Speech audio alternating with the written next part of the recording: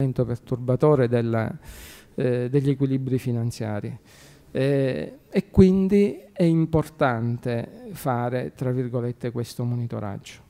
Per quanto riguarda anche qui l'attività accertativa, eh, l'ente decide autonomamente come, come procedere. Anche qui è cosa buona e giusta ripartire nel corso dell'esercizio sia per aumentare i flussi di cassa sia per gestire meglio come dire, poi il rapporto con l'utenza destinataria dell'attività accettativa. Lo stesso per esempio si fa anche per i tributi minori, noi a Enna ancora siamo in TOSAP, non in COSAP, lo stesso per l'imposta sulla pubblicità, chiaramente distinguendo le scadenze nel caso di tributo legato a posizioni permanenti o temporanee. Per le posizioni permanenti lo sappiamo è all'inizio dell'anno che occorre che sia effettuato il versamento e quindi diciamo sono tra le entrate che prima delle altre vengono riscosse nel corso dell'esercizio e quindi per questo in tempi sufficientemente brevi rispetto al calendario solare si possono già fare delle verifiche.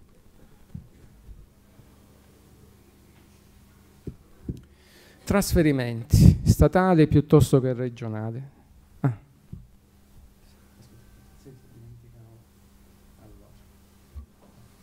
Trasferimenti statali e regionali. Per i trasferimenti statali eh,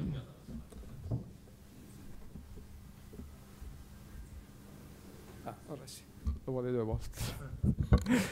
per i trasferimenti statali anche qui per i comuni che hanno il contributo sviluppo investimenti sono due rate, maggio-ottobre, il 60% a maggio e il 40% a ottobre.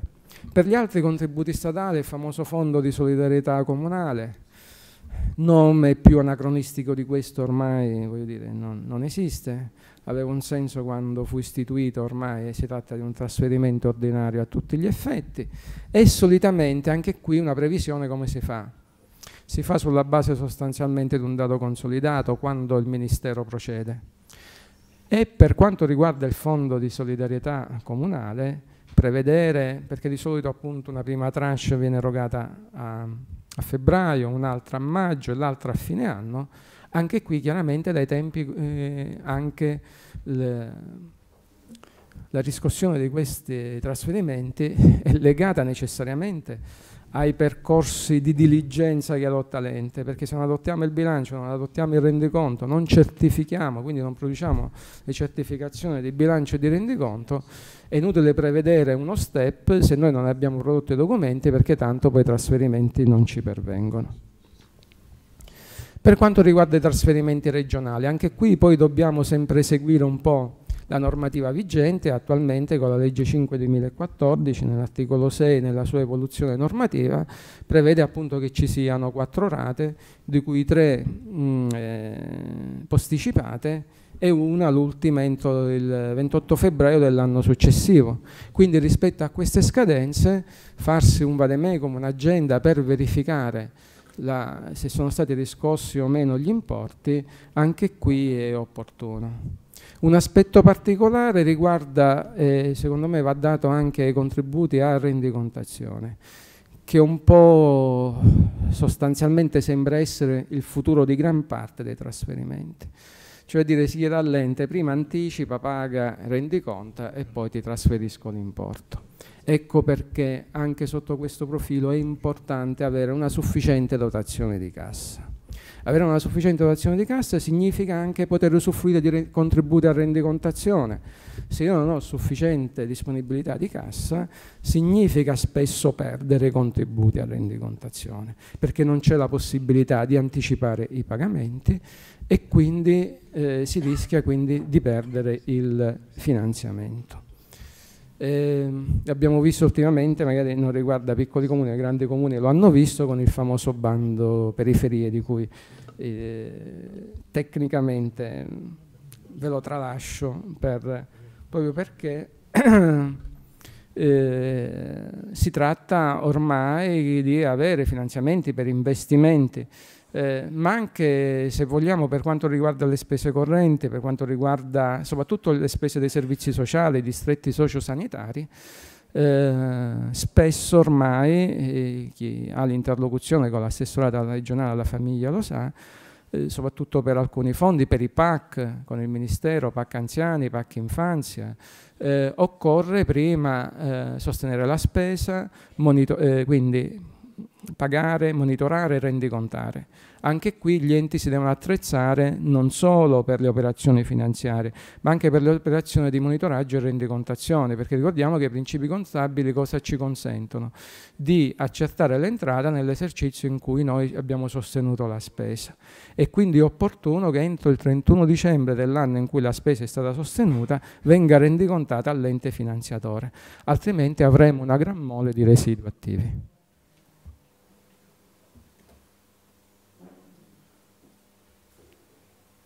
La programmazione riguarda anche le entrate eh, del titolo terzo, le entrate extratributarie, sono sostanzialmente le entrate dai servizi, le entrate dalla gestione del patrimonio immobiliare.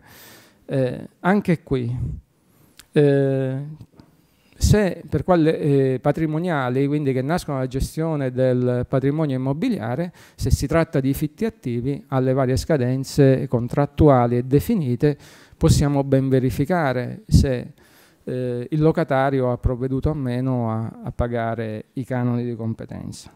Altrimenti, se non ci sono particolari scadenze, è possibile e opportuno prevedere ad uno step come dire, quadrimestrale sulla base delle previsioni. Però anche qui, ora lo vedremo nella prossima slide, non, non è detto che alle diverse scadenze di monitoraggio ci siano gli stessi importi che dobbiamo verificare. In queste prime slide noi abbiamo visto delle scadenze di verifica. Significa che in determinate scadenze noi dobbiamo vedere se è stata riscossa una determinata entrata. Però l'altro elemento è verificarne l'importo. E ora vedremo qualche esempio perché io a quella scadenza devo andare a verificare se io ho riscosso rispetto a quella data quell'importo, che non è detto che sia l'intero importo che io ho stanziato o accettato, proprio perché è diversa la disciplina di ciascuna entrata.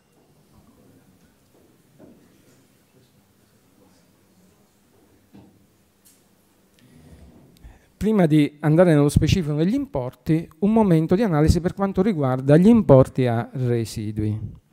Per gli importi a residui, a differenza di quelli a competenza, si può già definire degli step diversi uguali per tutte le entrate che abbiamo a residui, e cioè prevedere in questo caso degli step trimestrali, il cui ultimo è da fare entro dicembre. Ricordiamoci alla fine il residuo attivo cos'è? Il residuo attivo è un'entrata che già al 31 dicembre dell'anno pre eh, precedente era esigibile. Quindi in realtà io qui non ho particolare scadenza nel senso che già è scaduto il termine per esigere l'obbligazione. Quindi ogni, voglio dire, trimestralmente io devo verificare se le operazioni che ho posto in essere per riscuoterle eh, so, sono meno andate a buon fine. Eh, su questo aspetto voglio richiamare l'attenzione su una particolare eh, disciplina prevista nei nostri principi contabili. Quando parliamo di entrate proprie di un ente, parliamo di entrate che poi sono rilevanti ai fini della costituzione del fondo crediti di dubbia esigibilità. Per le entrate rilevanti ai fini del fondo crediti di dubbia esigibilità, i principi contabili prevedono che dopo tre anni che io ancora non li abbia riscossi, eh, previsto il responsabile del servizio competente debba verificare o meno se sussistono i presupposti per mantenere questo residuo o stralciarlo. Sembrerebbe che questo termine, come dire, triennale, valga solo per le entrate proprie dell'ente e non valga per le altre entrate.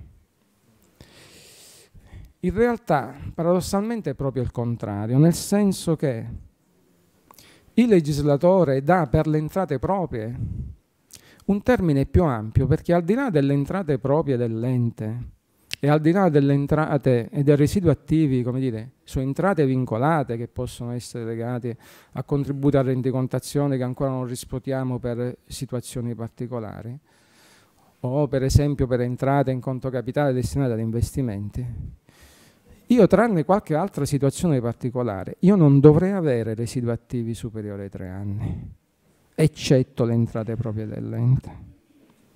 Non dovrei averle, non dovrei averle sicuramente al servizio conto terzi, non dovrei averle nei trasferimenti correnti non vincolati, assolutamente devo averle nelle entrate in conto capitale proprie dell'ente, quindi da alienazioni, da onere di urbanizzazione, perché ricordiamoci poi che gli oneri di urbanizzazione si accertano per quanto riguarda la prima rata nel momento in cui viene rilasciata la concessione e per quanto riguarda poi le altre rate sulla base del, della scadenza delle altre rate previste. Quindi in realtà io sarei legittimata a lasciare dopo i tre anni solo quelle entrate proprie per le quali io giustifico il mantenimento del residuo, ma io altri residui attivi imputati ad altri titoli non ne dovrei avere.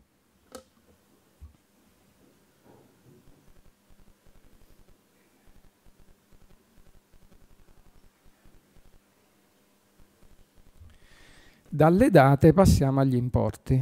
Attenzione, questi importi sono importi reali, non sono scritti così.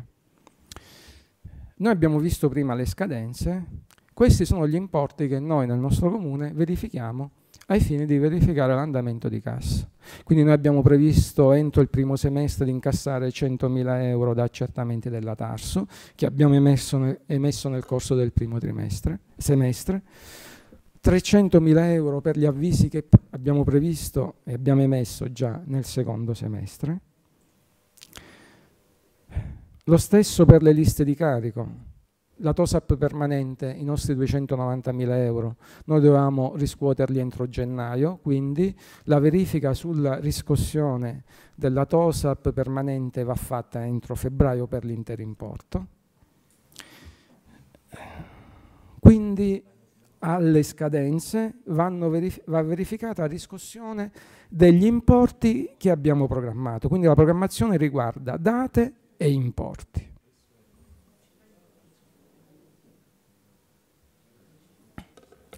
Altri contribu contributi statali. Noi abbiamo il 5 per 1000, sulla base delle scadenze, anche per, anche per gli importi più piccoli abbiamo definito gli importi da riscuotere. Eh, poi lì dove vedete quelle cifre grandi, perché per esempio il comune di Enna è capofila del distretto sociosanitario, quindi abbiamo PAC anziani, PAC infanzia e ci sono molte somme. Anche lì gli uffici competenti sostengono la spesa, rendicontano, fanno il monitoraggio e quindi diventa un contributo a rendicontazione. Sulla base dell'andamento di questa attività, poi il Ministero eh, trasferisce la liquidità anticipata.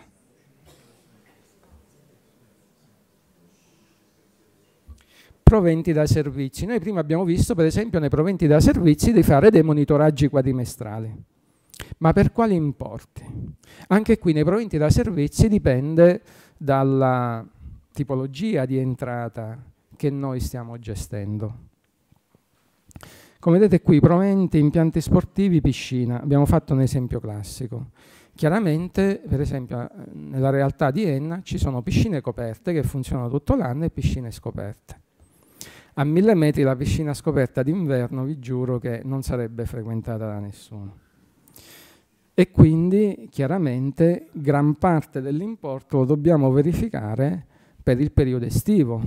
La piscina coperta è frequentata durante tutto l'anno, quindi sulla base dell'andamento medio dell'utenza che frequenta la piscina faremo la verifica per quella interna, per quella coperta, per quella scoperta la verifica verrà fatta chiaramente per gli introiti del secondo quadrimestre, cioè il periodo in cui funziona. Anche per la mensa scolastica sono dei servizi che diamo e che chiaramente ehm, il genitore chiede e ottiene all'inizio dell'anno scolastico, quindi sono entrate che si realizzano eh, nel mese di settembre-ottobre dell'anno, quindi è un monitoraggio che va fatto sicuramente eh, nell'ultimo quadrimestre.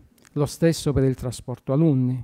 Quindi a parità di scadenze, diversi sono gli importi la cui programmazione di riscossione va verificata secondo la natura, la dinamica, la tipologia e la disciplina normativa di quella specifica entrata.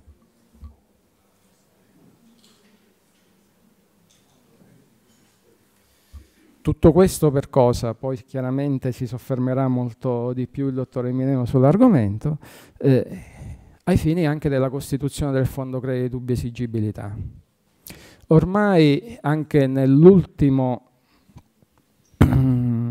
questo sarà il prossimo sarà il primo bilancio, il 19-21, nel quale finalmente ci sarà, tra virgolette, finalmente molto tra virgolette, un'annualità per il quale andrà accantonato il 100% della quota che si presume inesigibili delle entrate proprie dell'ente. È finito, tra virgolette, salvo diverse considerazioni eh, normative e disposizioni di legge che eh, dovessero ulteriormente prolungare, anche se sembrerebbe dai documenti attuali che eh, non dovrebbero esserci variazioni sul tema. Quindi ormai si va verso l'accantonamento del 100% delle quote di dubbia esigibilità. E qui quindi la programmazione di cassa non è importante solo per questo, ma anche per un altro aspetto perché dal 2019 a legislazione vigente non avremo più il metodo semplificato. Non avendo più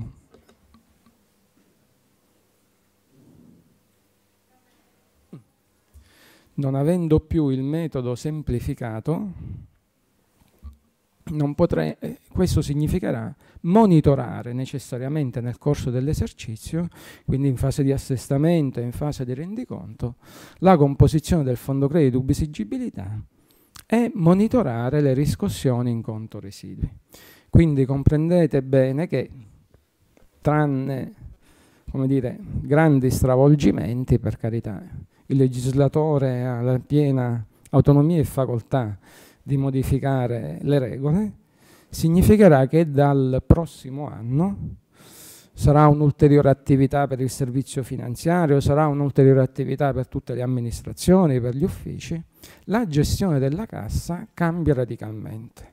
Quello che fino ad oggi era un'amministrazione di una definizione di principio, una norma di principio, dobbiamo essere virtuosi, eh, diventa cogente. Dobbiamo farlo, eh, non dobbiamo solo proporcelo, perché adesso la modifica delle regole sulla gestione della cassa ai fini degli indici di deficitarietà strutturale e ai fini della composizione del fondo credito di dubbia esigibilità ce lo impongono.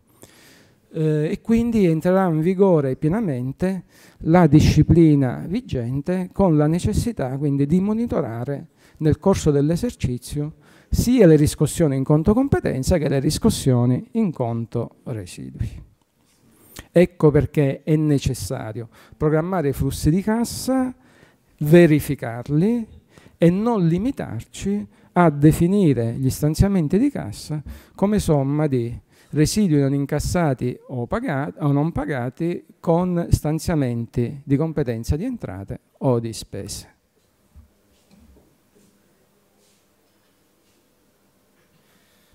Eh, un piccolo salvagente che ancora si può utilizzare proprio perché i principi contabili sono stati modificati. Per le annualità in cui si applica la contabilità armonizzata vi ricordo appunto che il fondo crediti si può costruire eh, rispetto all'articolazione originaria che prevedeva solo incassi di competenza sull'accertamento di competenza al numeratore, agli incassi di competenza, possiamo aggiungere gli incassi in conto residui sulla competenza dell'anno precedente per aumentare questo valore.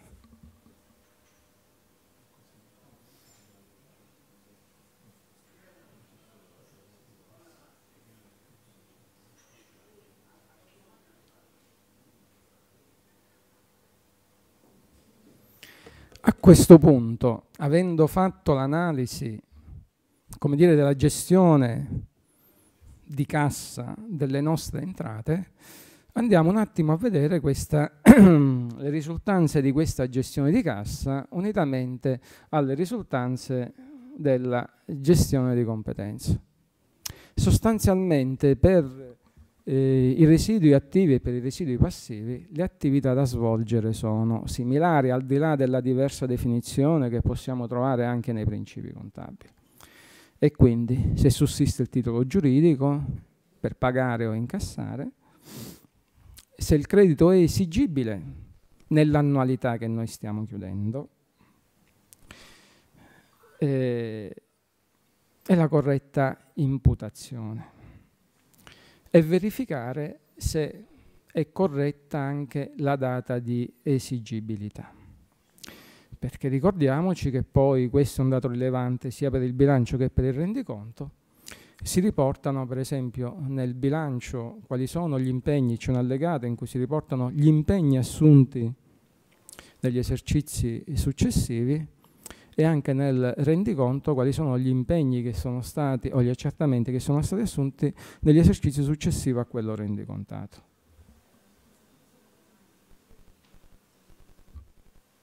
Che tipo di attività va fatta sui residui?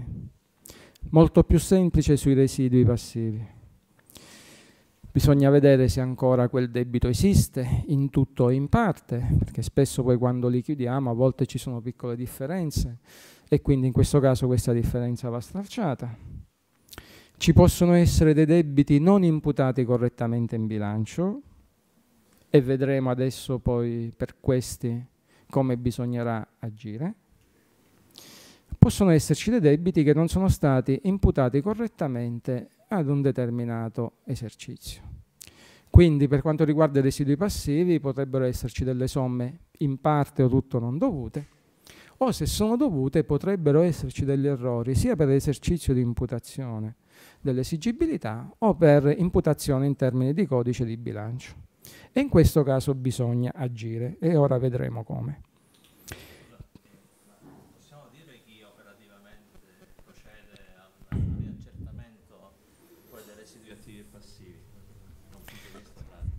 Allora, sì, preliminarmente è opportuno eh, fare anche questa considerazione. Al di là delle singole competenze ascritte nel, eh, dalla normativa ai diversi organi, di fatto, io ho portato anche in realtà qualche esempio così lo potremmo anche vedere.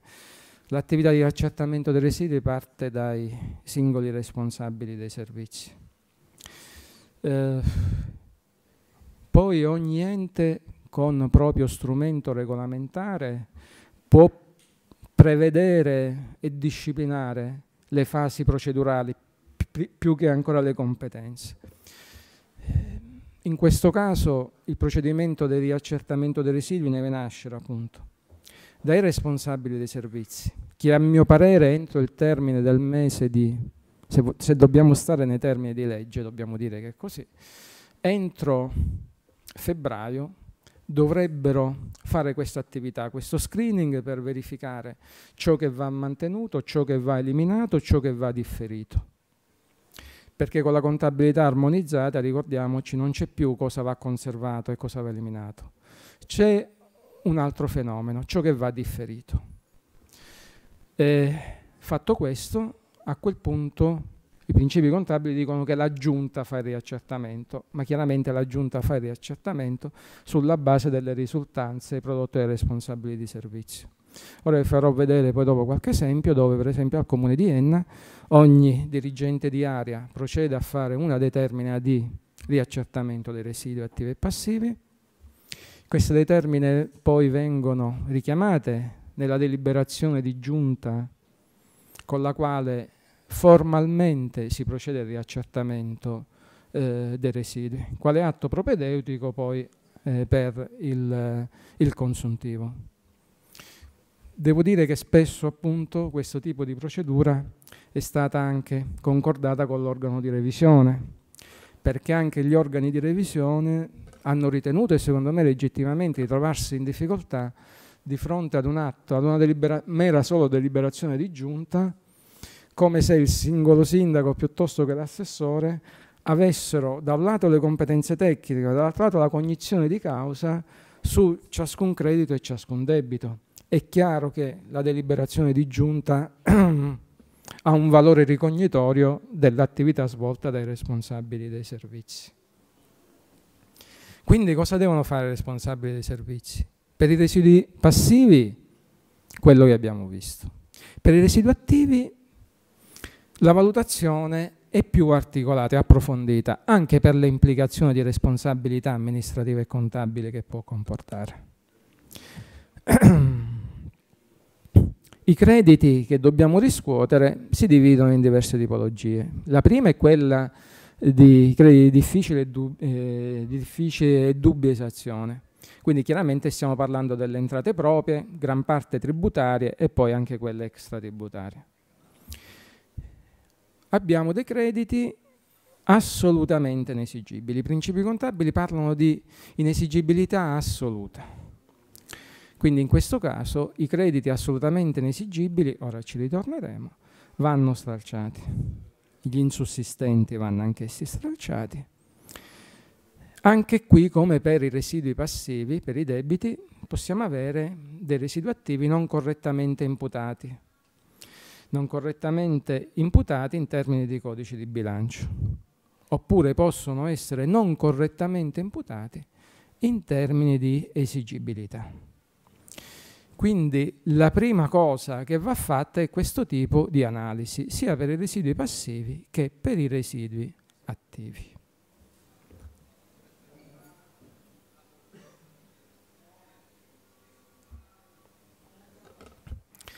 Nel caso in cui...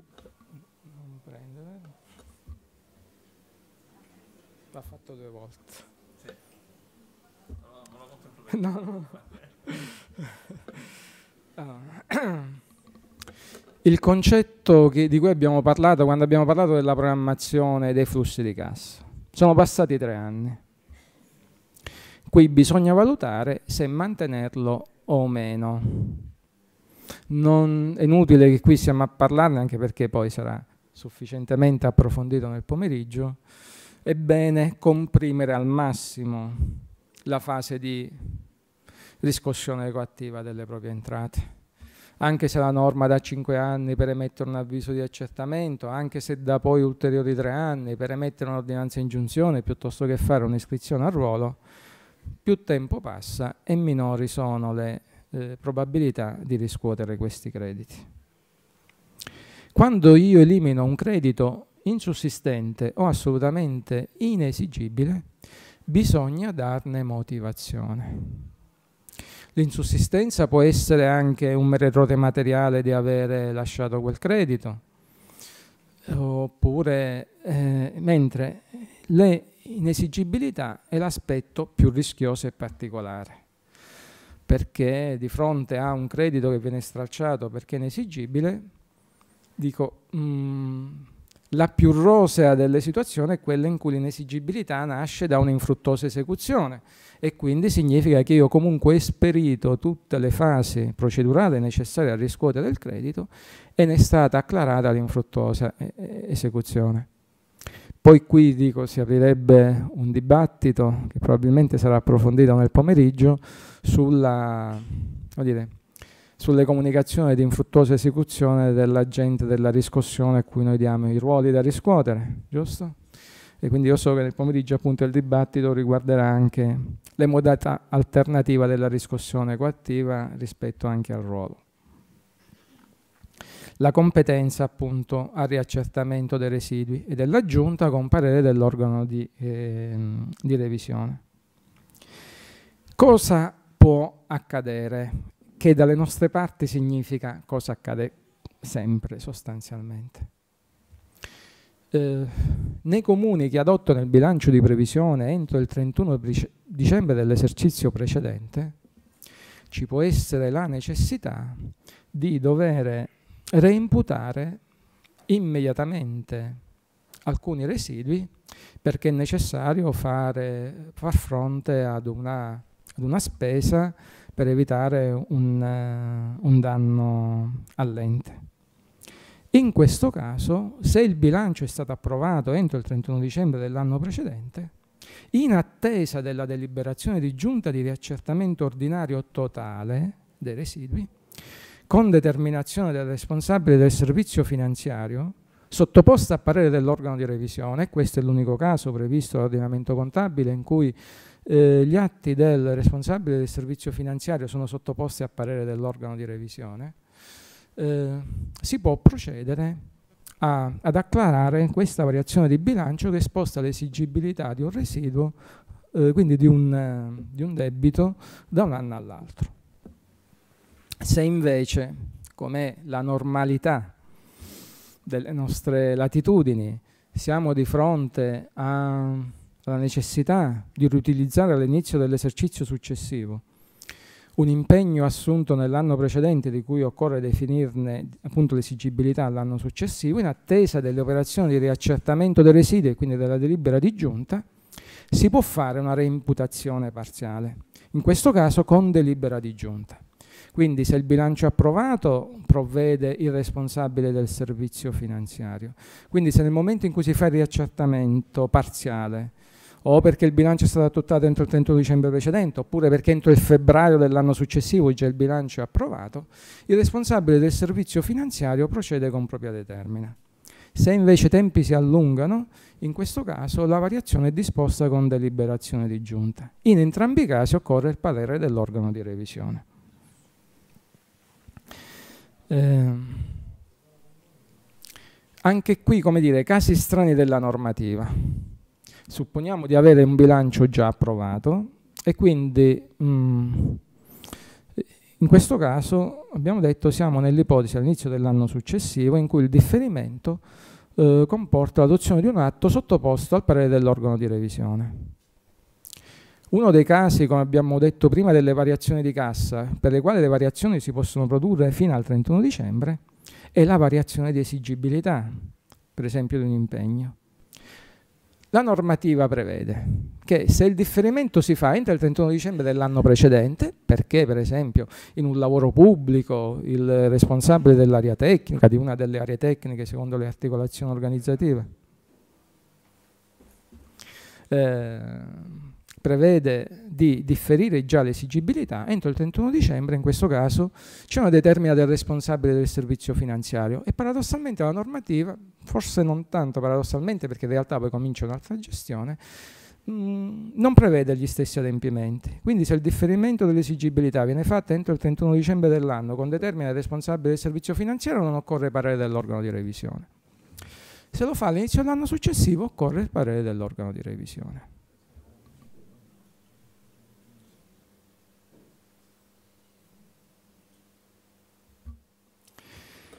In quali casistiche si può fare il riaccertamento parziale prima di fare il riaccertamento totale dei residui. Punto, alcune casistiche già le abbiamo accennate prima, c'è la necessità di fare un pagamento, per esempio per evitare di perdere un finanziamento, piuttosto che... Oppure, quel caso che abbiamo detto prima, anche dei, dei contributi a rendicontazione, occorre necessariamente effettuare un pagamento per evitare di perdere il contributo a rendicontazione. L'ultima casistica è stata introdotta l'anno scorso recentemente perché è stata considerata un bonus rispetto alla normalità della gestione da parte di un ente locale, soprattutto quelli un po' più, ehm, un po più grandicelli. Anche questo in realtà per esempio riguarda i contributi a rendicontazione. Supponiamo che ora nel corso del 2018 otteniamo un finanziamento per un contributo a rendicontazione e lo otteniamo adesso, siamo a metà novembre. Io l'entrata quindi l'ho accertata perché ho ottenuto un finanziamento. Io entro il 31 dicembre non riesco a fare l'impegno perché sono in tempi estremamente stretti. Allora questo cosa significa? Che io mi ritrovo l'accertamento nel 2018 e poi il mio impegno lo perfeziono nel 2019. Allora, in questo caso è stata introdotta questa nuova casistica e possibilità. Essendo un contributo a rendicontazione, i principi contabili mi dicono che io l'entrata la devo andare a imputare nell'esercizio in cui sostengo la spesa. Allora, in questo caso, ho una necessità Cosa si deve fare? Su richiesta chiaramente del responsabile del servizio che ha questa necessità. Cancello il mio accertamento dal 2018, lo riscrivo nel 2019, con imputazione del 2019, che è l'anno in cui io sostengo la spesa che rendi conto. Lo impongono questo i principi contabili. Se io devo accertare un'entrata nell'anno in cui io sostengo l'impegno di spesa, quindi si perfeziona il mio impegno di spesa e procede al pagamento, anche se io l'ho accertato in un anno, per rispetto del principio contabile lo devo andare a eh, caricarlo nell'anno successivo, nell'anno in cui sostengo la spesa.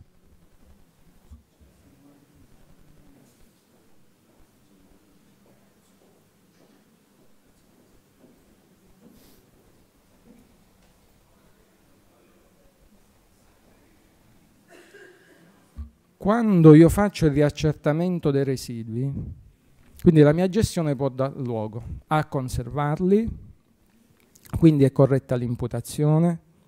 Ricordiamoci anche che il 28 febbraio dell'anno successivo è un termine congruo per fare le operazioni di riaccertamento, anche per un altro motivo. Ricordiamoci che il principio contabile prevede che entro il 28 febbraio dell'anno successivo possono essere ben liquidate e pagate le somme dell'anno precedente.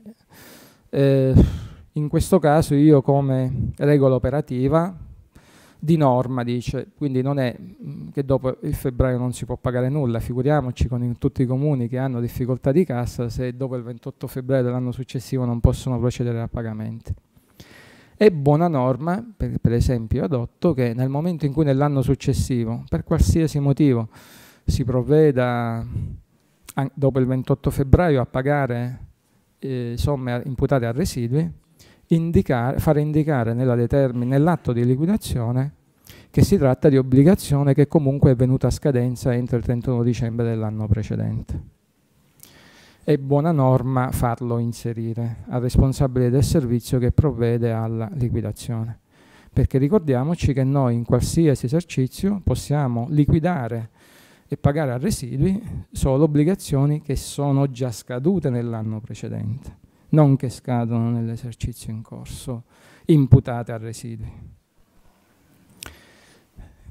Quindi, fatta questa prima grande analisi, ciò che devo mantenere, ciò che devo eliminare, ciò che devo reimputare, ora su ciò che devo reimputare ci torniamo. Ma innanzitutto vediamo quali sono le altre implicazioni che nascono dal riaccertamento dei residui. E guardate che su questo aspetto spesso nei comuni si fanno molti errori e sono errori che poi nel tempo incidono anche sugli equilibri di cassa. Quindi, eh, come dire, non solo bisogna stare attenti sull'analisi dei residui attivi e quindi dei crediti, per quello che, tra virgolette, ci siamo detti, perché in realtà lo sforamento degli indici di deficitarietà strutturale nasce anche dal fatto che manteniamo appunto dei residui in bilancio che sono inesigibili o insussistenti. Cosa accade nel momento in cui facciamo le operazioni di riaccertamento dei residui? Innanzitutto dobbiamo accantonare lo stanziamento che abbiamo creato in bilancio per il fondo credito dubbia esigibilità. Fino al 2018 a noi basta prendere lo stanziamento, se non utilizzato lo consideriamo accantonato per intero, se abbiamo stralciato dei residui attivi lo accantoniamo per la quota non utilizzata, quindi prendiamo l'importo dello stanziamento decurtato dall'importo dei residui attivi eliminati per i quali eh, chiaramente parliamo di residui attivi del titolo primo e del titolo terzo sostanzialmente che sono stati presi in considerazione per costruire il fondo. Anche qui dico, mh, mm, la normativa si presta ad una riflessione perché la normativa prevede che io in questo caso utilizzi il fondo credito esigibilità per arginare l'eliminazione di residui attivi. Eh, la normativa consente di utilizzare il fondo crediti per qualsiasi residuo attivo di quelli che incidono sulla costituzione del fondo, indipendentemente dall'anno di maturazione. Io vi ricordo che il fondo credito dubbia esigibilità non è altro che l'accantonamento pari ad una quota parte dello stanziamento di competenza di queste entrate a partire dal 2015. Noi in questi anni ci troveremo a stralciare dal nostro conto di bilancio residui anche anteriori al 2015. La normativa di per sé mi consente per lo stralcio di residui attivi anteriori al 2015 di attingere dal fondo crediti. Però ricordiamoci che comunque stiamo attingendo da un fondo che attiene anni, in questo caso, eh, a cancellare residui attivi relativi ad anni di accertamenti di entrate e di stanziamenti di entrate che non hanno contribuito a costituire quel fondo. Facendo un esempio semplice, supponiamo che io a fronte di un ruolo della tassa rifiuti del 2015, vado per grandi numeri, di un milione di euro, e nel fondo ne ho accantonato 200.000, nel momento in cui io facendo il consuntivo 2018 utilizzo, 200, utilizzo una quota parte del fondo per stralciare 100.000 euro di residui attivi della tassa rifiuti del 2014 piuttosto che del 2013, è chiaro che in questo momento sto eliminando, tra virgolette, il salvagente che avevo creato per gli eventuali residui attivi insussistenti del 2015. Torno a ripetere, i principi contabili non lo specificano e quindi è ammesso e legittimo che utilizzo il fondo crediti anche per neutralizzare la cancellazione dei residui attivi anteriori al 2015. Però va da sé che io sto togliendo il salvagente per i residui attivi degli anni per cui io l'ho costruito. E quindi perché questo ragionamento? Perché dipende da come io chiudo la gestione. A questo punto è, come dire, atteggiamento di prudenza che anche se io nel fondo credito di dubbia esigibilità ho stanziato 100 e supponiamo che io non lo abbia utilizzato per i residu eh, residui attivi eliminati e quindi mi ritrovo alla fine dell'esercizio 100. Ricordiamoci che la normativa nelle sue percentuali 70, 85, 95, 100 fa riferimento a dei limiti minimi. Nulla mi impedisce di accantonare di più. Sulla base del risultato che mi perviene fuori, se io ho dei margini, accantono anche più di quanto previsto, soprattutto in queste annualità in cui c'è stata la deroga normativa di accantonare meno del 100% delle previsioni di dubbia e difficile esazione. È opportuno accantonare di più. Vuol dire, ancora noi non sappiamo come si svilupperà il dibattito normativo sulla pace fiscale. E questo potrebbe incidere molto sui comuni, ove fosse un provvedimento varato e aperto anche ai tributi locali. Perché se aperto anche ai tributi locali, ove vi fosse un pari trasferimento dello Stato per ristorare gli enti per mancata riscossione, mezza pena, come si suol dire ma se così non fosse, per i comuni si aprirebbe un ulteriore burrone. Accantonamento al fondo rischi. Questo è chiaramente un fondo da costruire a quattro mani, dove c'è l'avvocatura con l'avvocatura, dove non c'è l'avvocatura chiaramente con i legali incaricati del patrocinio dell'ente rispetto al contenzioso in essere e potenziale. Perché è importante il ruolo dei professionisti dell'avvocatura? Perché l'analisi del rischio rispetto al contenzioso non lo può fare il ragioniere, lo deve fare l'avvocato. L'avvocato interno o esterno che sia è pagato per questo. L'analisi del rischio del contenzioso lo deve fare l'avvocato eh, perché non è che se un comune ha un contenzioso in itinere, supponiamo per 10 milioni di euro, tutto è fondato, perché voglio dire, eh, garanzia della, del nostro ordinamento giudiziario, chiunque può chiedere, può, il petitum lo può presentare chiunque, io domani mattina presento un decreto ingiuntivo a un qualsiasi comune per 2 milioni di euro, è assolutamente infondato. Chiaramente se quel comune non si oppone, io alla scadenza dei termini acquisirò un titolo esecutivo. Infondato nel merito, ma ho acquisito un titolo di credito nei confronti di quel comune, però se è chiaramente infondato. Quindi l'analisi dei debiti potenziali va fatta per bene e va fatta dai legali. Anche qui i principi contabili dicono che ove l'importo sia ingente, è possibile spalmare nel tempo questo importo.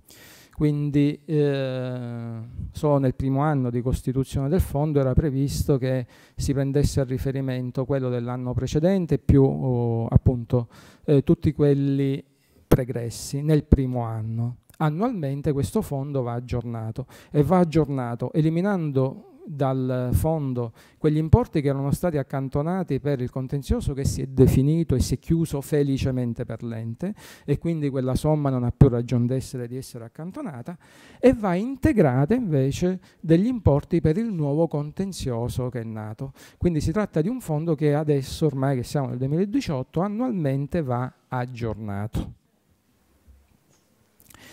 In questo caso, se rispetto a questo contenzioso, ad un contenzioso in itinere, abbiamo delle somme già impegnate, pensiamo a delle forniture rispetto ai quali l'oggetto del contendere è l'importo dovuto.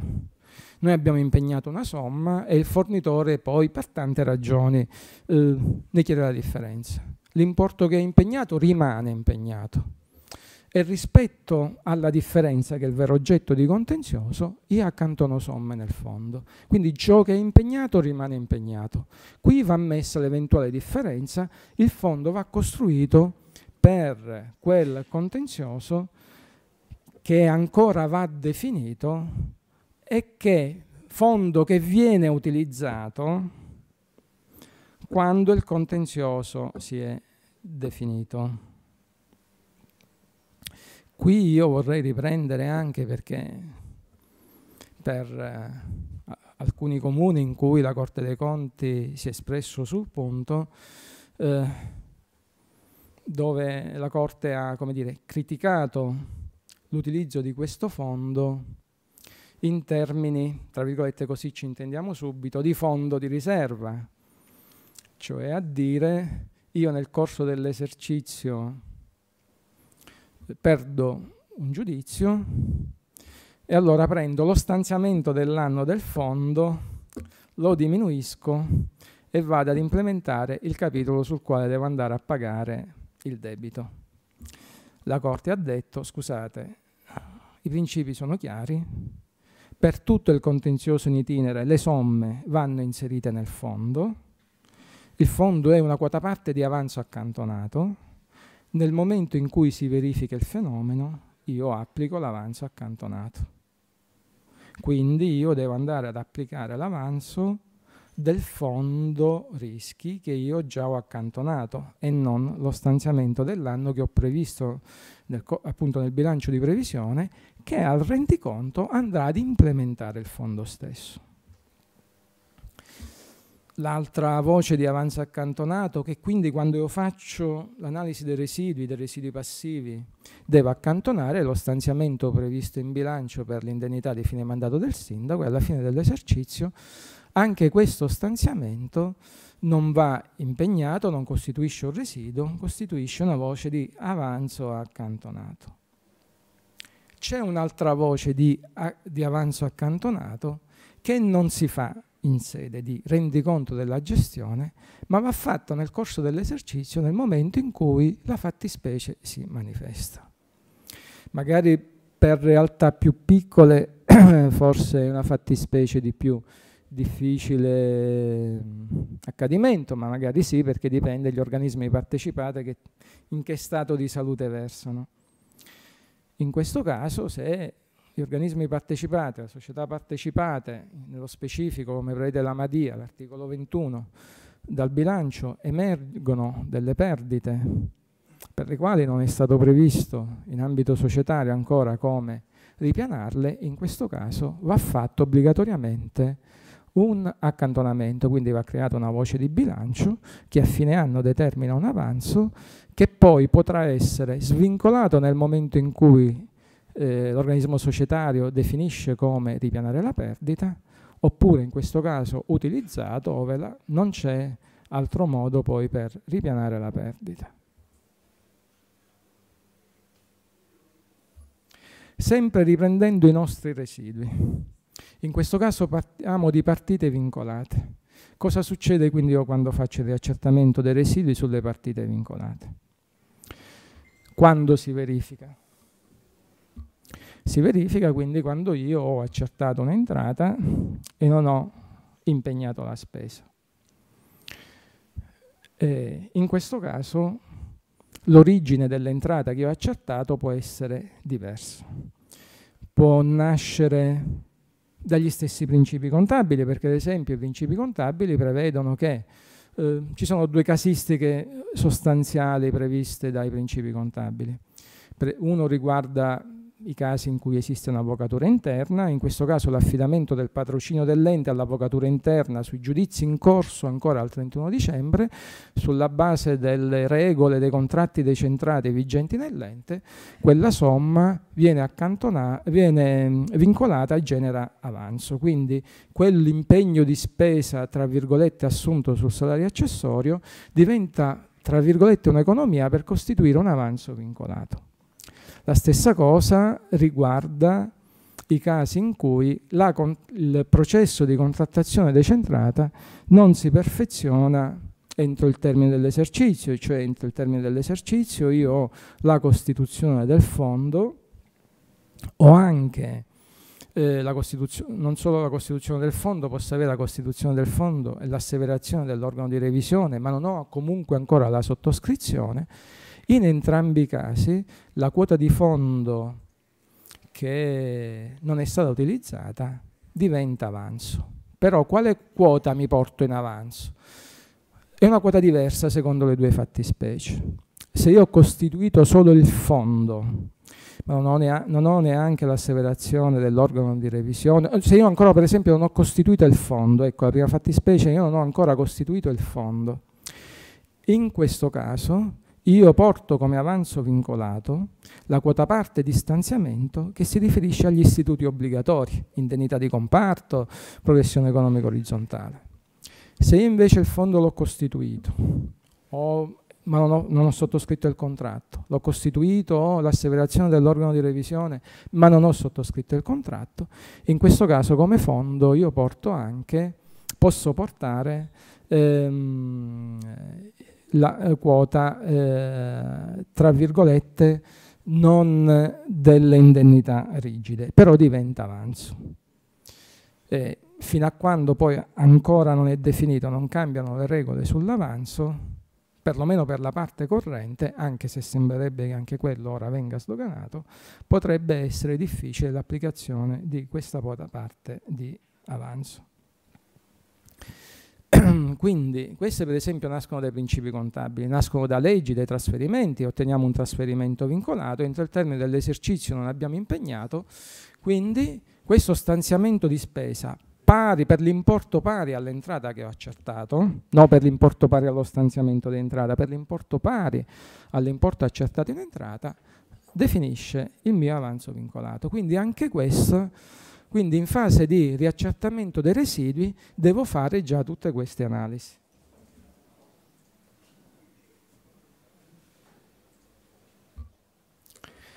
Cosa faccio con l'entrata in conto capitale che non ho utilizzato per impegnarla per investimenti? Diventa avanzo destinato. Quindi abbiamo visto in fase di riaccertamento dei residui che si genera o l'avanzo accantonato, o l'avanzo vincolato, o l'avanzo destinato. Poi sulle possibilità e quando come utilizzarlo dirà il dottore Mineo. Quindi in fase di riaccertamento, quindi non facciamo solo mantengo stralcio, ma determino anche una costituzione di avanzo. E questo è determinato naturalmente dalle nuove regole contabili. Mentre prima con la vecchia contabilità sostanzialmente era tutto molto più semplice, adesso nuove regole contabili di, vedono diversa natura di avanzo e diverse regole appunto di accertamento di impegno.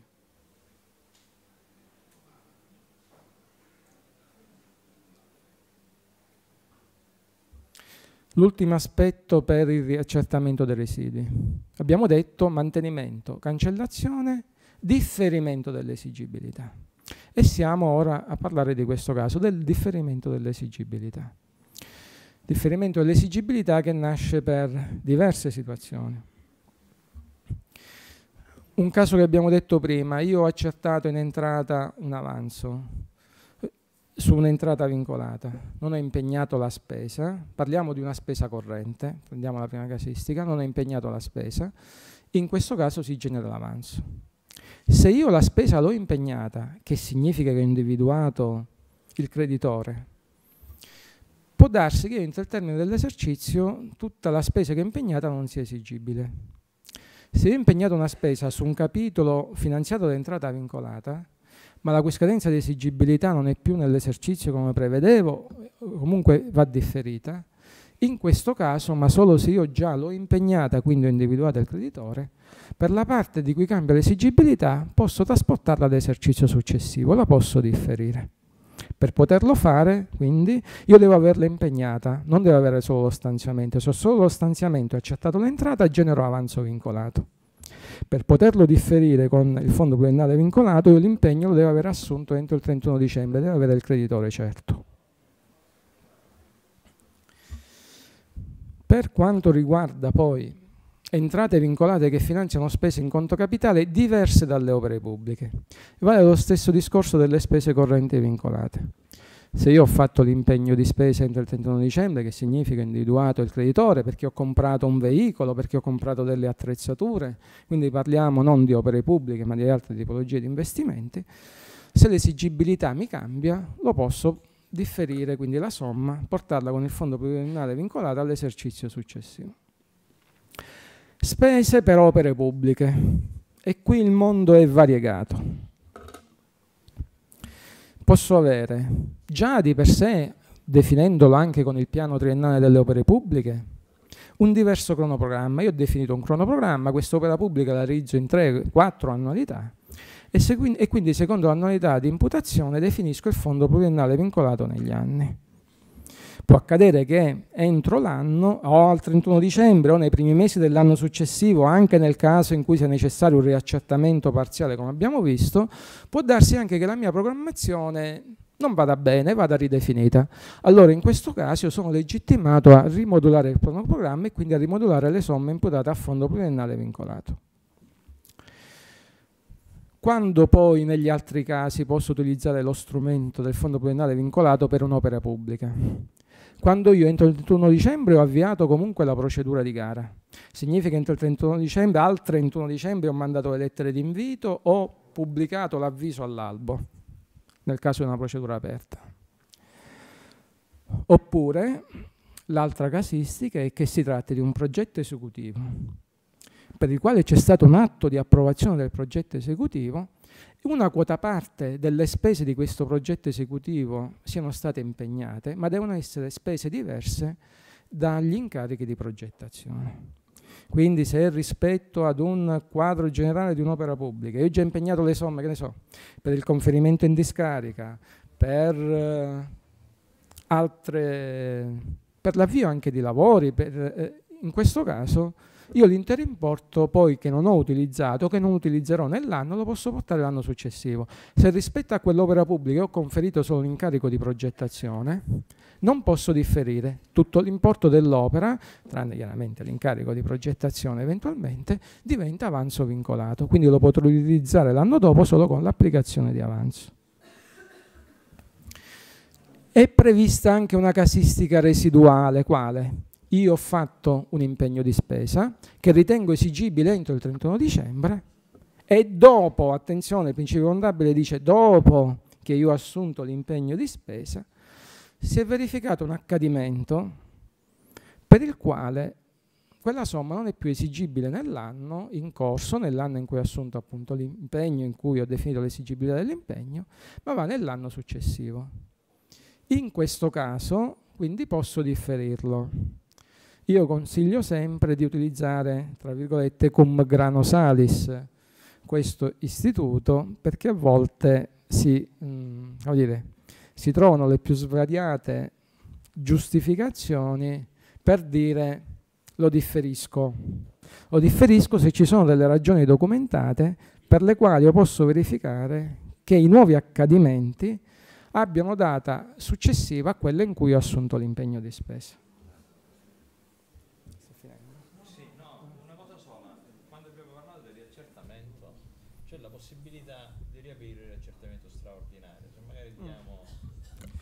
Allora, c'è qualcuno interessato alla, sì, allora, il raccertamento straordinario, la stessa Corte dei Conti ha rilevato che nei comuni a volte, per non dire sovente, è stato fatto con, eh, con degli errori. E qui abbiamo una letteratura della magistratura contabile variegata e un dettato normativo rispetto al quale secondo me dobbiamo attendere ora la nuova legge di bilancio. Su richiesta di alcuni enti, la Corte dei Conti già si è espressa in generale, diciamo enti che non hanno situazioni di patologia finanziaria acclarata, ecco diciamo così, sulla possibilità di intervenire sul riaccertamento straordinario, se c'è la possibilità o meno di, di agire. La Corte dei Conti ha detto che non possono più agire. Per quest'anno, con un termine che è sostanzialmente scaduto entro luglio, diciamo così, ad alcuni enti, quelli per i quali la Corte dei Conti ha acclarato che il riaccertamento straordinario dei residui aveva determinato, tra virgolette, degli errori che incidono sulle patologie finanziarie degli enti, ha dato dei brevi termini, sostanzialmente da aprile a luglio, per poter eh, riaprire. Chiaramente la Corte dei Conti si era soffermato su enti sostanzialmente che erano in situazione di riequilibrio finanziario pluriennale. Ad oggi lo stato normativo è questo. Probabilmente, probabilmente nella dinamica normativa per i quali gli istituti di risanamento finanziario, dissesto ed equilibrio, saranno rimodulati, non si esclude la riapertura di una finestra, probabilmente con determinate condizioni, per procedere. Attualmente non c'è la possibilità di procedere.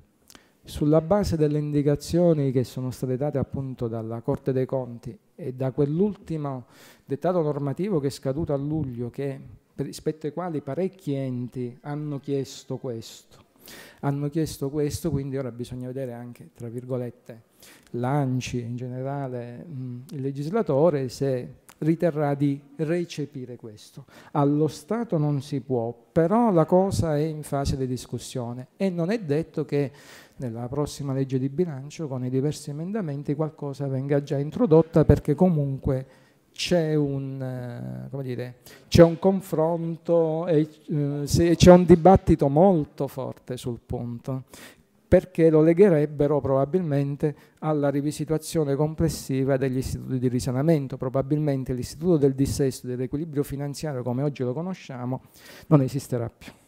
Sarà una sorta di concordato preventivo perenne. Comunque intervengo.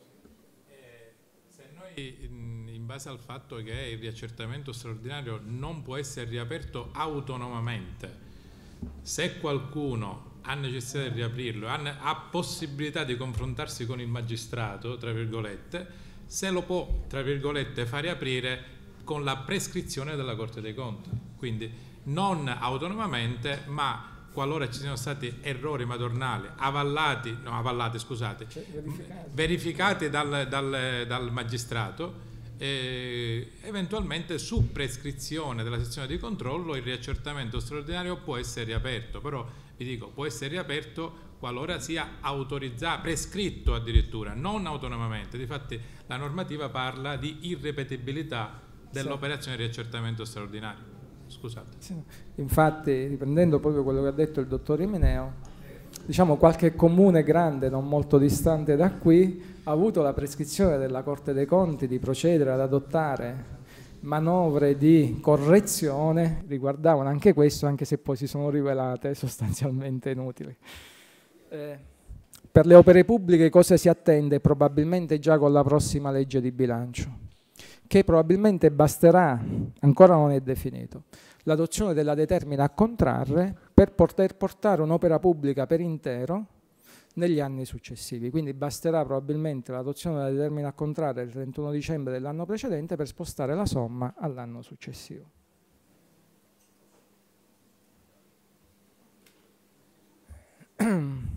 Cosa succede a questo punto? Noi abbiamo chiuso la nostra gestione, dopo che noi chiudiamo la nostra gestione si possono verificare debiti fuori bilancio. Sui debiti fuori bilancio, anche per andare più spediti, ci sono le casistiche previste dall'articolo 194. Le conosciamo tutti, dalla lettera A alla lettera E. Sappiamo che le casistiche nascono, la lettera A sentenze, la lettera B la copertura di disavanzo di consorzi, agende speciali, lettera, poi abbiamo indennità di esproprio, la ricapitalizzazione di assetti societari. Ricordiamoci che nei debiti fuori bilancio ci va la ricapitalizzazione e non la copertura di perdite. La copertura di perdite abbiamo visto va creato il fondo rispetto alla Madia. Qua si tratta di ripristinare il capitale sociale o l'acquisto di beni e servizi. Anche qui come previsto dall'articolo 193, dipende dalla tipologia di spesa. Se il mio debito è una spesa in conto capitale, posso utilizzare per ripianarlo anche entrate in conto capitale. Se la mia spesa o eventualmente un mutuo, se la mia spesa è una spesa corrente, devo utilizzare risorse correnti. In ogni caso, per entrambe le tipologie è ammessa la, la possibilità di utilizzare l'avanzo di amministrazione libero. Ricordiamoci che senza l'articolo 187, l'avanzo di amministrazione libero tra i suoi eh, le sue destinazioni prioritarie, proprio alla prima lettera, mette la copertura dei debiti fuori bilancio.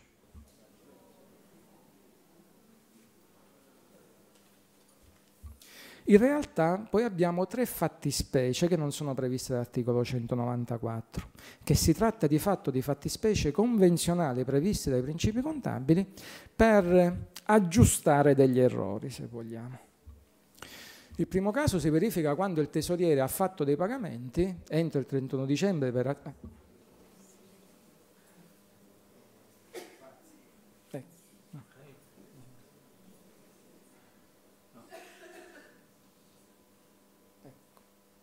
Ecco. Il primo caso è nel caso in cui il tesoriere ha fatto per pagamenti per azioni esecutive entro il 31 dicembre, ed entro il 31 dicembre ehm, non è stata regolarizzata la posizione, perché in questo caso occorre entro il 31 dicembre fare una variazione di bilancio, dare copertura alla spesa pagata dal tesoriere e quindi emettere il mandato di pagamento a regolarizzazione. Se entro il 31 dicembre questo non l'ho fatto, quando approvo il consuntivo devo dare atto dell'esistenza di questo debito fuori bilancio e io, anche se decorso l'esercizio, devo emettere l'ordinativo di pagamento con, facente parte della gestione di cassa dell'esercizio precedente, quindi per me è la regolarizzazione di un provvisorio dell'esercizio precedente, quindi deve avere data dell'esercizio precedente. E questo è l'unico caso in cui si deroga al principio della natura autorizzatoria degli stanziamenti. In questo caso posso sforare lo stanziamento previsto. Posso avere sbagliato l'imputazione, noi l'abbiamo visto prima tra le casistiche di analisi dei miei residui. Per un residuo io posso avere sbagliato l'imputazione, era, era stato imputato ad un titolo, andava imputato ad un altro titolo, sia di entrata che di spesa. Per l'entrata io non ho alcun problema a farlo, io posso sfondare gli stanziamenti, posso fare la qualunque. Il problema si pone per la spesa, perché io non posso avere un maggior residuo passivo, posso avere solo un minor residuo passivo. Nel caso dell'entrata io anche nell'esercizio successivo posso fare l'accertamento in conto residui e quindi avere un maggiore accertamento a residui, ma per la spesa non lo posso fare. Allora in questo caso cosa si fa? Cosa prevede il principio contabile? Se ho sbagliato l'imputazione del titolo di spesa, io devo innanzitutto nel rendiconto della gestione portarmelo come avanzo vincolato, cioè a questo punto devo eliminare l'impegno e portarlo come avanzo vincolato. Con il rendiconto, approvando il rendiconto, riconosco deb questo debito fuori bilancio e gli do come finanziamento quella quota di avanzo vincolato tra virgolette il principio contabile dice con imputazione all'esercizio, all'esercizio eh, cui si riferisce. È chiaro che non c'è nessun software di ragioneria che quando metto l'anno imputazione oggi mi consente di mettere come imputazione l'anno precedente, se ne dà direttamente conto nell'atto con cui si riconosce e con cui si approva il eh, rendiconto.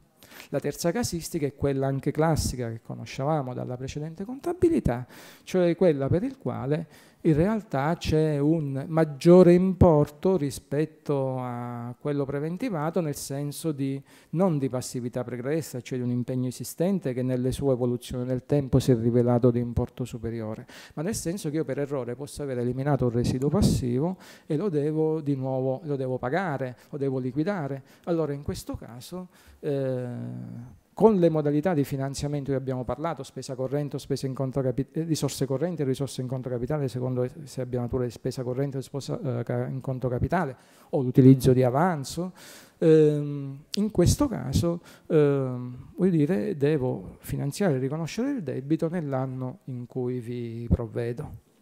In generale, in generale, la normativa prevede che per quanto riguarda la lettera E, quindi la fornitura di beni e servizi in violazione dell'articolo 191, io devo provvedere al riconoscimento e al finanziamento del debito nell'esercizio in cui il debito mi matura. Quindi significa che se ho fatto una fornitura senza impegno contabile, io devo fare la procedura nello stesso esercizio e lo devo imputare nello stesso esercizio.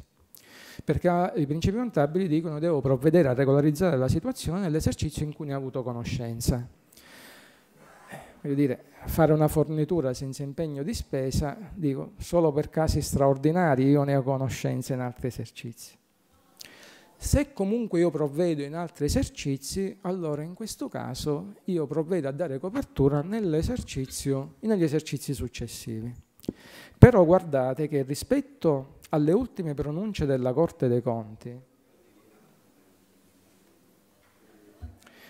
questo discrimine è molto importante perché dopo che le sezioni riunite si erano espresse negativamente sulla possibilità di realizzare nel triennio um, eventuali debiti fuori bilancio di ingente importo per i quali in un singolo esercizio non si riusciva a dare integrale copertura finanziaria, adesso invece la sezione autonomie si è espresso in termini possibilisti.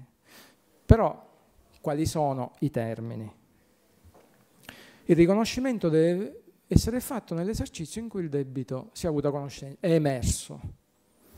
Quindi se noi parliamo della fornitura di beni e servizi, se io voglio rateizzare nel triennio la mia fornitura ingente effettuata in violazione dei principi contabili, quindi senza impegno regolare, io il riconoscimento lo devo fare immediatamente nello stesso esercizio in cui è emerso, se io voglio avvalermi della possibilità di rateizzarlo nel triennio.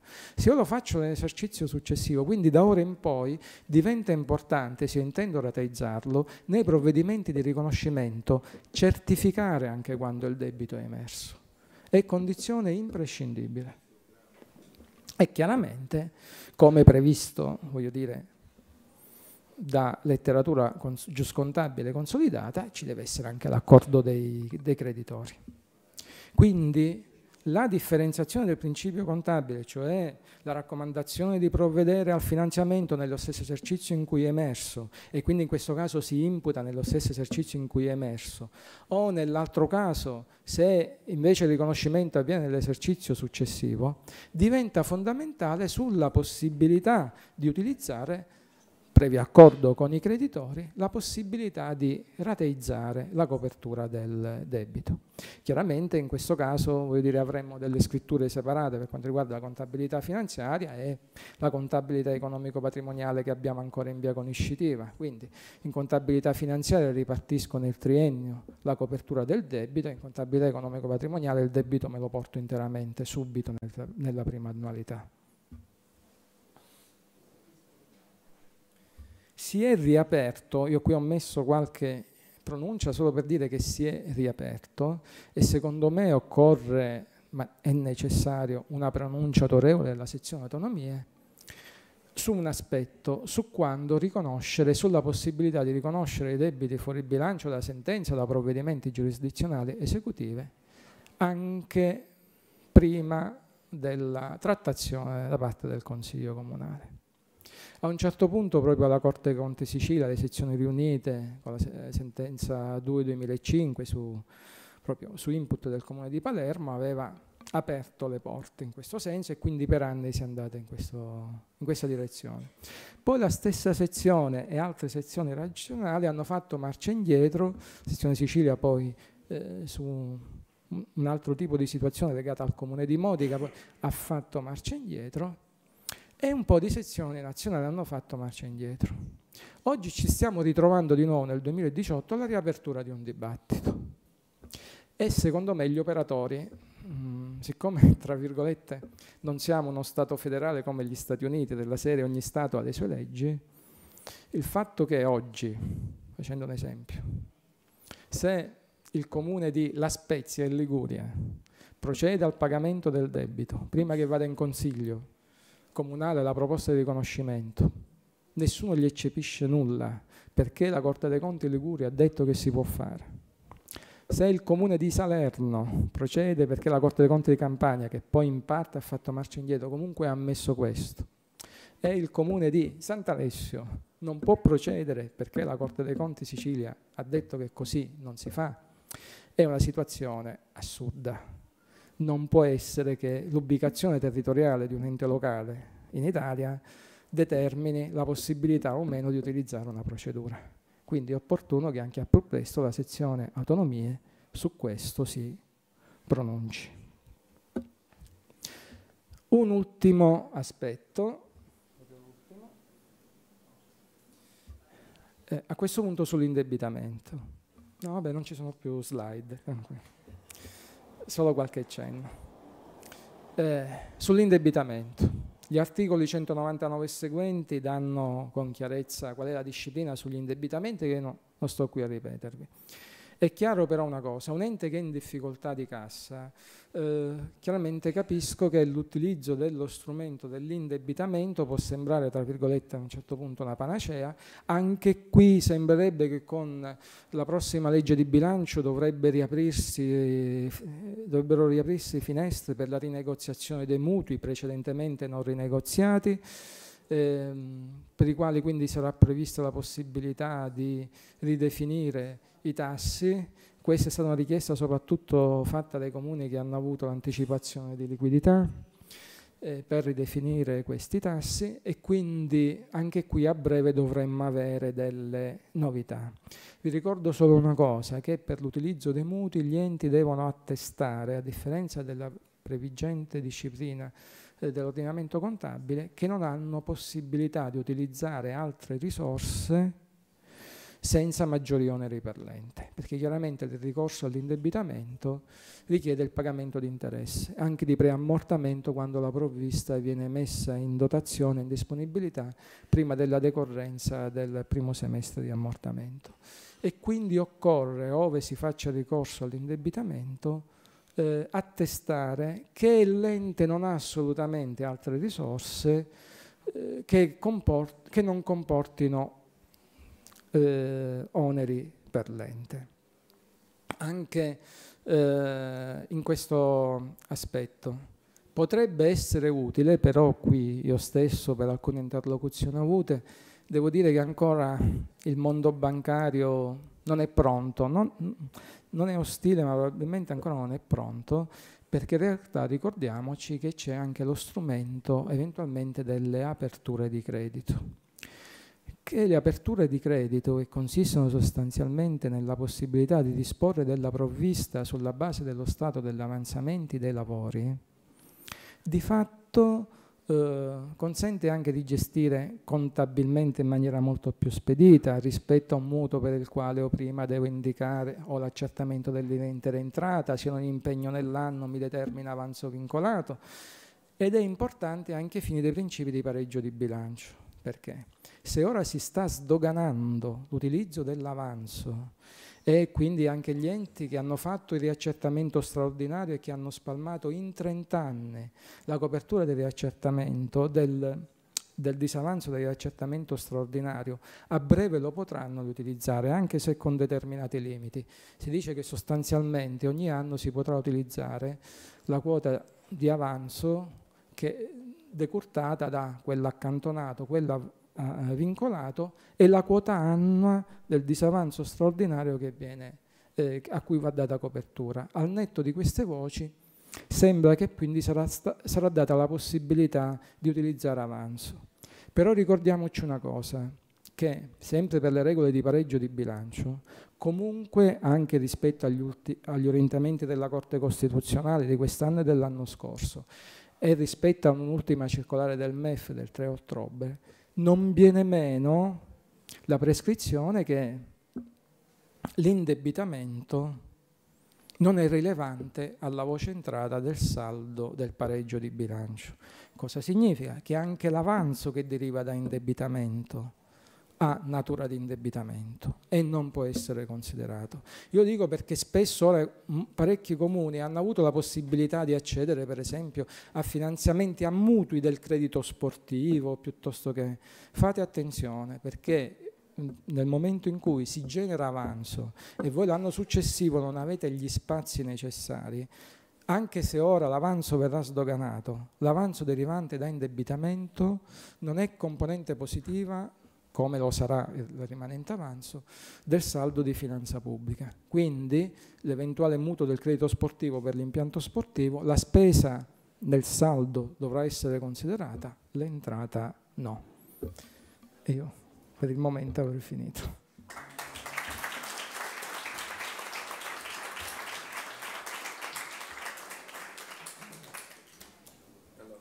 Dottore, io la ringrazio e speriamo di vederci anche per il futuro nel, nei nostri convegni. Veramente complimenti, è stato chiarissimo, esaustivo, quindi, e ha tenuto due ore l'attenzione della platea.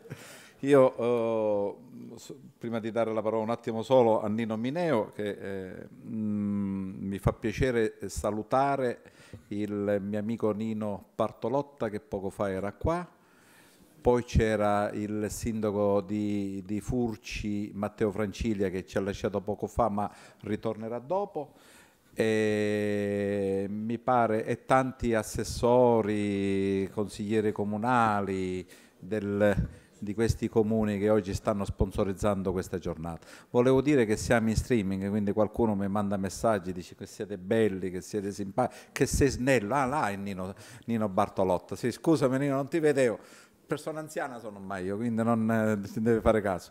E quindi dici, mi vedono snello e cosa fare, quindi grazie a questi signori a 01 TV noi siamo oggi in onda e speriamo di poterli eh, ripetere eh, questo, giusto questo collegamento è anche, anche registrato se c'è qualche disavanzo noi non abbiamo disavanzo noi per essere sincero all'ordine abbiamo avanzi da, da sempre quindi non, poi no, con la mia gestione credo che si spenda poco e quindi non, si pretendono solo le entrate ma le uscite mai non si mantengono va bene allora facciamo parlare adesso Nino Mineo o facciamo ci facciamo 5 ma 5 minuti perché Nino già è in in fibrillazione, va bene? Grazie.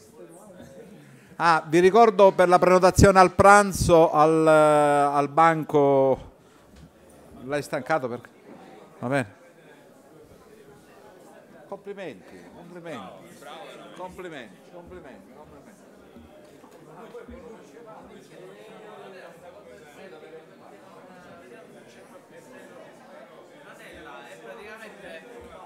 questa cambia e non cambia il frame